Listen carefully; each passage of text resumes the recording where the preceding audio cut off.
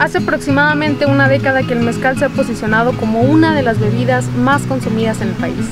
Mi nombre es Yeyexi Arenas y a continuación les presentaré el proceso de destilado del agave que tiene por consecuencia un rico y delicioso mezcal.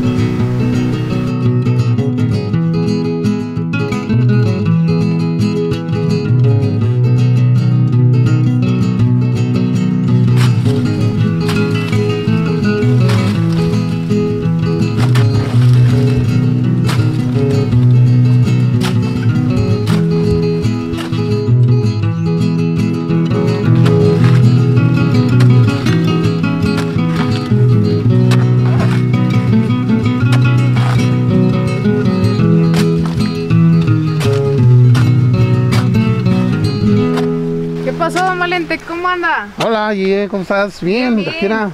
quemando. ¿Qué tal? Ya le traje por aquí un, un mezcalito para que se motive. Pues muy buen mezcal, el que traes, ¿eh?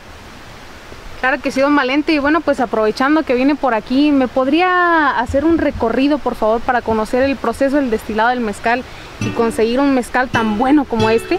De acuerdo, este, pues vamos desde un principio para explicarte todo el proceso, desde que se inicia este, la recolección de semilla. Y bueno, pues vamos, ¿qué te parece? Ya dijo don Valente, entonces pues vámonos. Listo.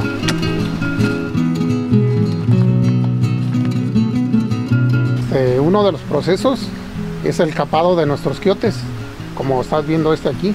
¿Por qué es importante hacer el capado de los agaves?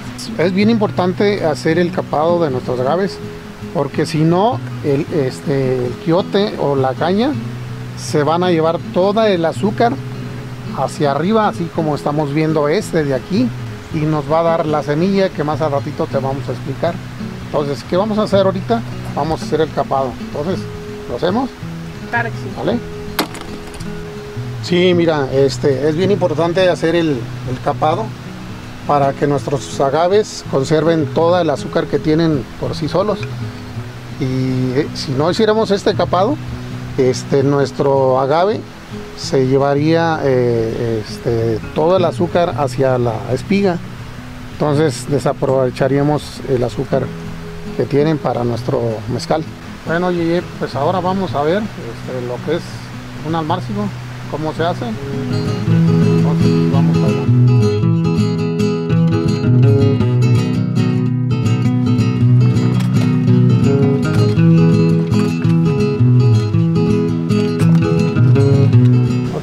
Yeye, ah, aquí tenemos un poco de semilla de maguey.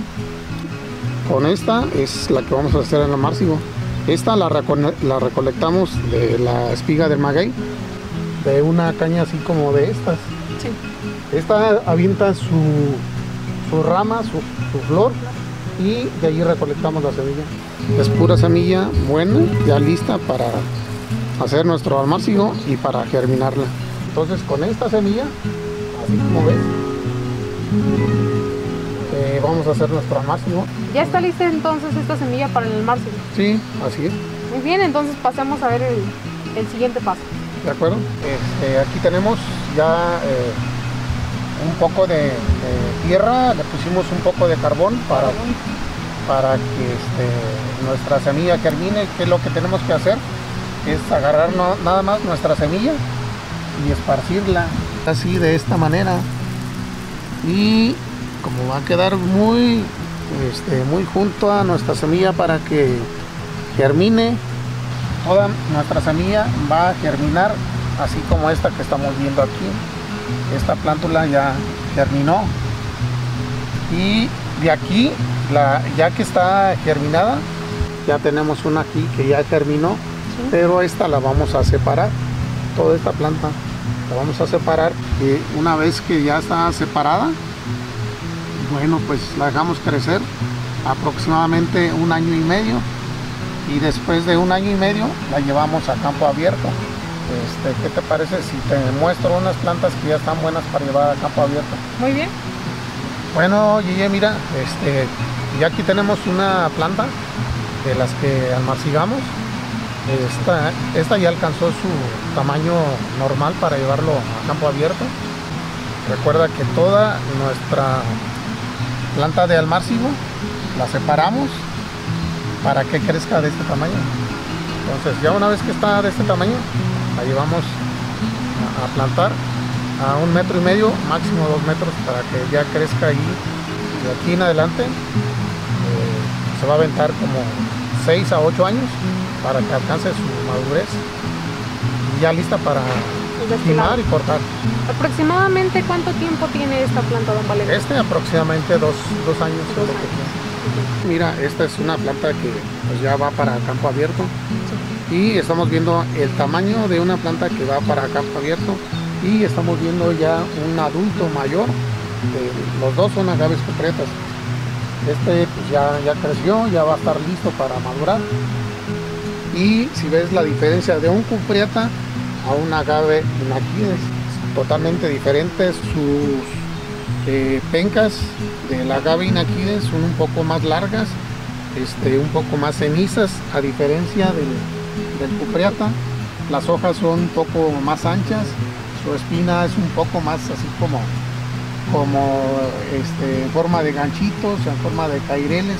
Entonces son dos agaves muy diferentes. Son los endémicos de aquí de Michoacán para hacer el mezcal que se hace aquí en destiladora de mezcal público. Y bueno, pues ahorita este, vamos a ir al lugar de proceso para este, mostrarte ya el proceso del, mezcal. Ya viene lo bueno, don Valente. Sí, echarnos un buen mezcal.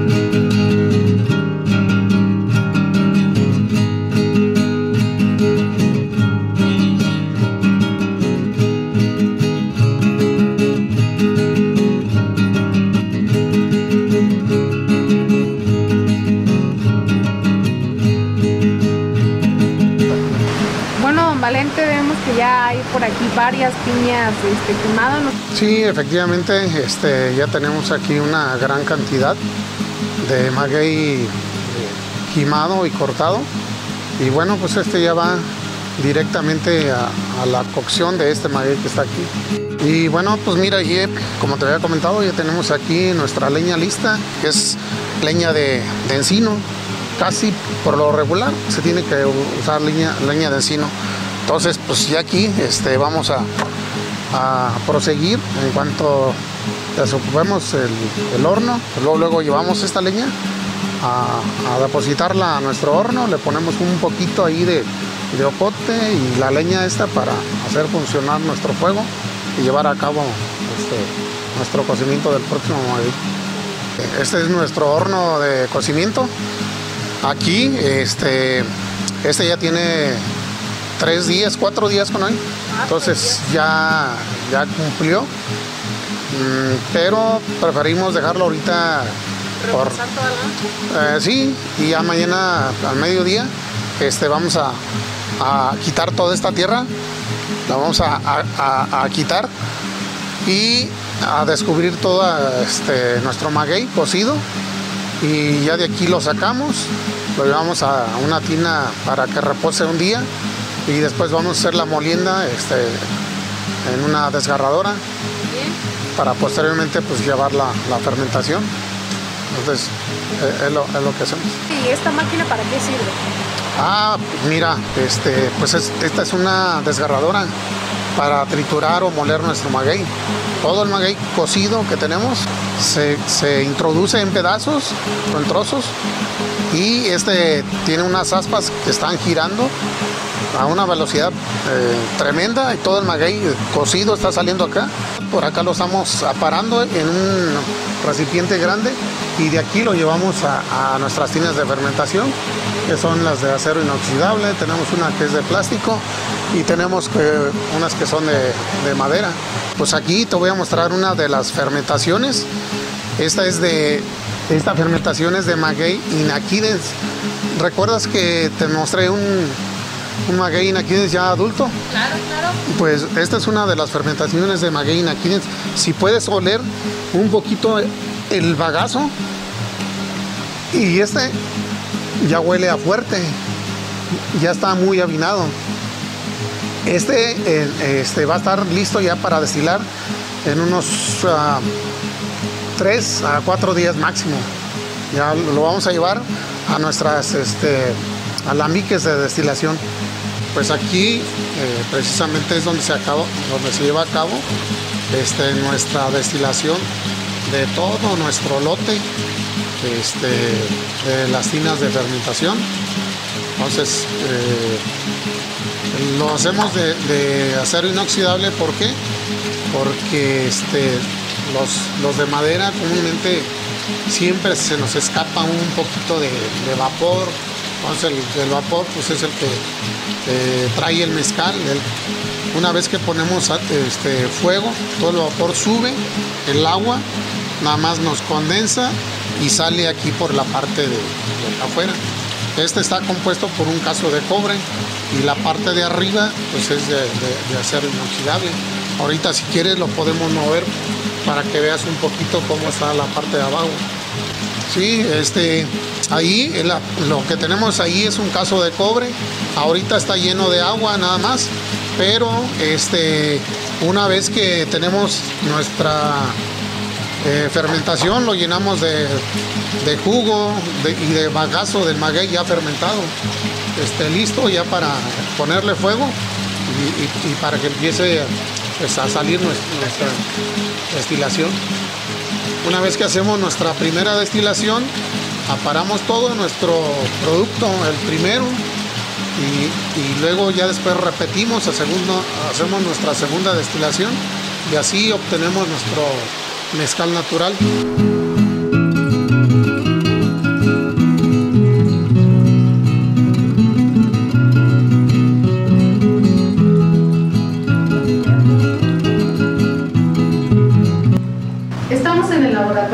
Y pues como puedo observar hay varios instrumentos ¿Nos podría explicar qué funcionamiento tienen dentro del proceso del mezcal? Sí, mira, ahí este, efectivamente tenemos varios instrumentos. Este, tenemos aquí eh, este que, no, que nos sirve para medir azúcar. Pareciera que son, iguales. son igual, pero definitivamente este no nos mide alcohol y este sí nos mide alcohol. Entonces cada uno tiene su función. Entonces tenemos un termómetro este, que es de mercurio ponemos nuestro mezcal en la probeta y checamos cuánta temperatura tiene y posteriormente este, checamos con nuestro alcoholímetro y vemos, este, tiene unos números, checamos cuántos grados de alcohol tiene, si tiene 50 grados, bueno, pues ya eh, checamos cuánto es la, temperatura, cuánto es este, los grados de alcohol y de aquí ya nos vamos a basar este, grados de alcohol con los grados de temperatura y exactamente es el, a qué equivale. A qué equivale. Y anteriormente este, nuestros este, abuelos, y todavía nosotros lo hacemos, ¿por qué no? Lo hacían con un carrizo y con una jícara. Ahorita lo, te vamos a hacer un perlado.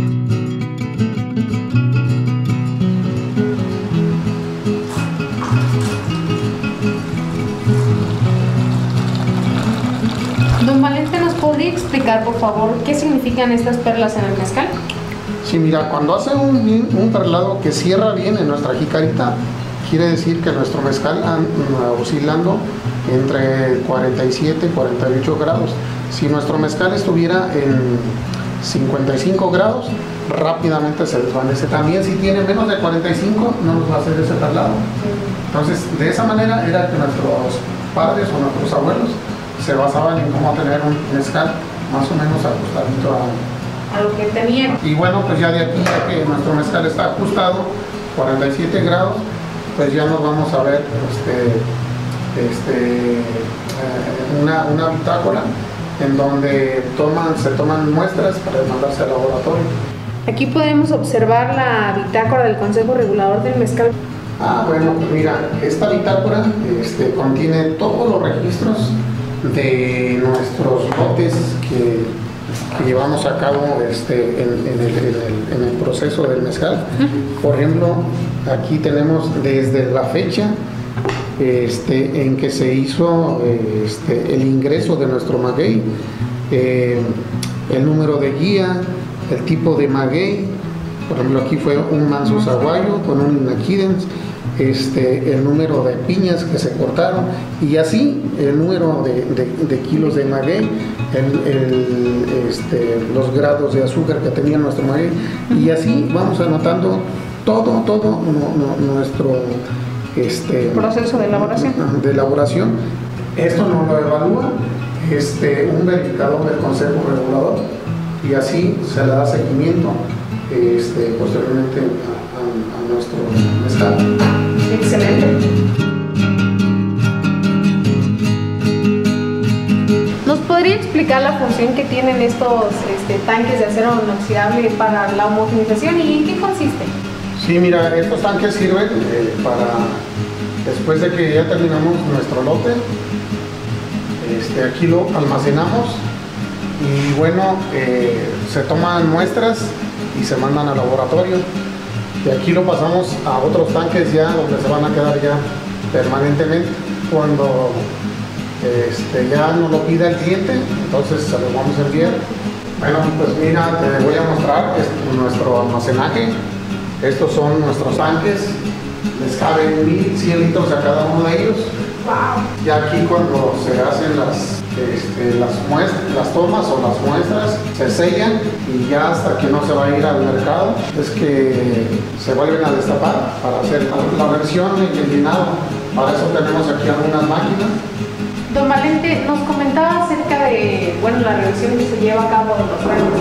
¿Esto para qué es? Eh, sabemos que la escalería cuenta con certificaciones. ¿Cuáles son estas? Bueno, este, siempre tenemos un verificador, un verificador a la mano este, cada vez que lo estamos ocupando para este, que nuestro producto vaya eh, de manera legal. Para eso es.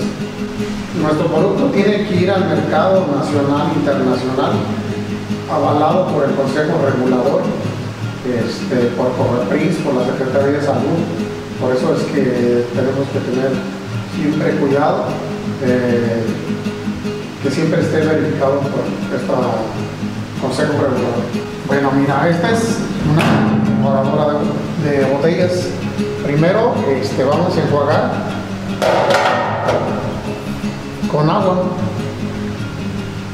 y posteriormente lo vamos a hacer con ordinario mezcal en este lado. ¿Sí? ¿Por qué con primero con agua y después con ordinario mezcal? Porque con, el agua siempre nos va a quedar una película blanquecina en la botella y no va a quedar cristalina. Pero al último, sin embargo, si lo eh, juegas con el ordinario mezcal, nuestra botella va a quedar totalmente eh, transparente. ¿Nos podría explicar qué es el mezcal ordinario, por favor? El mezcal ordinario es, es un producto de la primera destilación este, que viene eh, teniendo un 15 eh, a un 20% más o menos de, de alcohol. Bueno, sí, mira, entonces de aquí pasamos a la siguiente que es nuestra este, llenadora. Aquí ponemos la cantidad de cuatro botellas que son la, capacidad de nuestra llenadora. Tiene cuatro boquillas. Prendemos nuestra máquina, empieza a girar la banda. Esta trabaja con un compresor de aire. Este sube las, boquillas, se hace el llenado. Este, una vez que se llenan, aquí corren las botellas, hay una persona que está haciendo el taponado. Ajá, exacto. Ajá.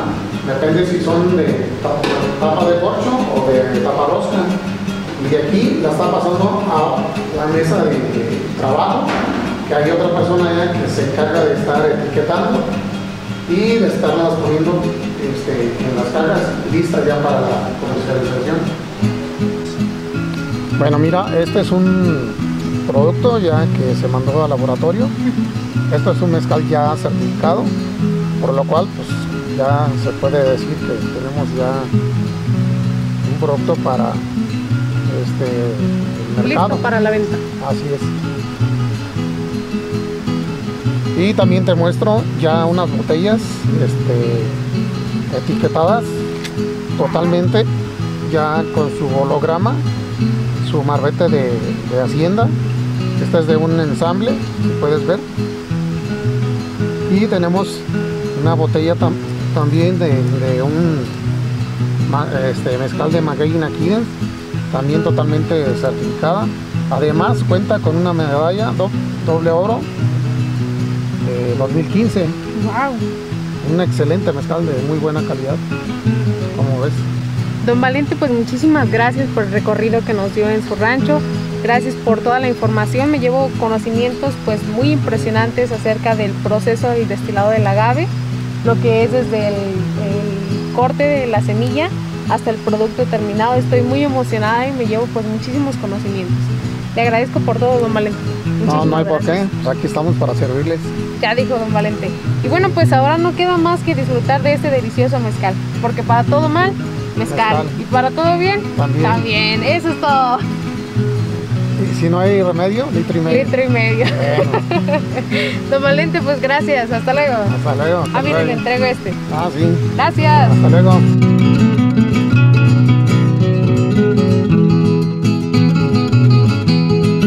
Pues les agradezco a todos por haberme acompañado en este recorrido. Espero que hayan aprendido mucho sobre el proceso del destilado del agave. Así que bueno, estén al pendiente en todas nuestras redes sociales porque saldrá próximamente un producto mezcalero bien fregón. Así que nos vemos y hasta la próxima.